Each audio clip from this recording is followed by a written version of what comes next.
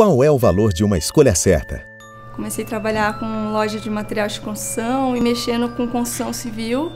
Eu queria algo em construção civil. E aí, como eu gostava de exatas, optei pela engenharia civil. Só que eu não tinha uma projeção, nenhuma expectativa com relação ao curso, mas quando eu comecei a fazer, eu me apaixonei pela profissão. Na época, pela opção do curso ser noturno também, me ajudou a conseguir fazer estágio. Então, quando eu me formei, eu já tinha uma direção já. Eu escolhi a Unimar porque, assim, na época, minha família estava aqui, né?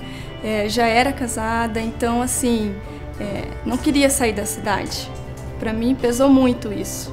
Quando eu optei por fazer engenharia civil, as pessoas até falavam, mas como assim você é tão delicadinha fazer um curso, né, nesse peso onde tem muitos, tem só homens na sua maioria, pelo menos era assim o cenário de quando eu comecei a fazer, né?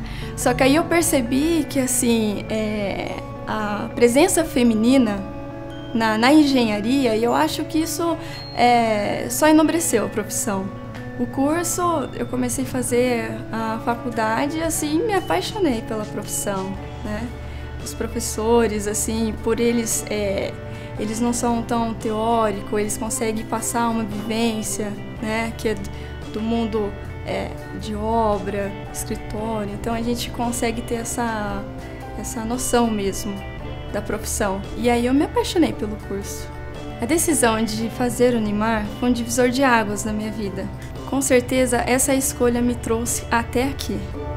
Falando sério, faça Unimar. Unimar 60 anos.